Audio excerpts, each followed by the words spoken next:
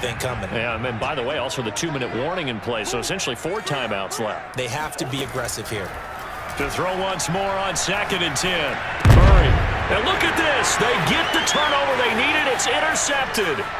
It's Shaq Thompson here with a pick. And they will finally run him down. Not intercepted.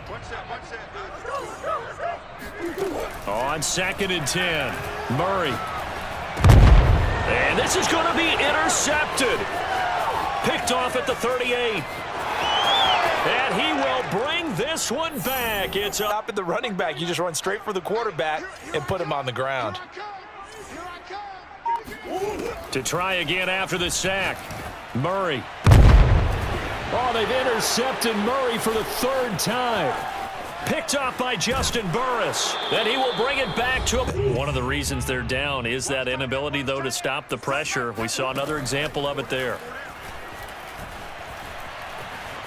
Escaping the pressure right.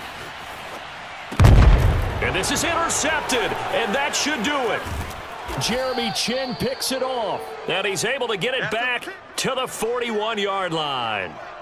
Well, there's a time and a place for everything. Down two scores late in the fourth. I get it. Now is the time to throw it downfield, but that one might just write an end to this ball game. Yeah, I hear all the time how critical I am of play calls. Not in this situation.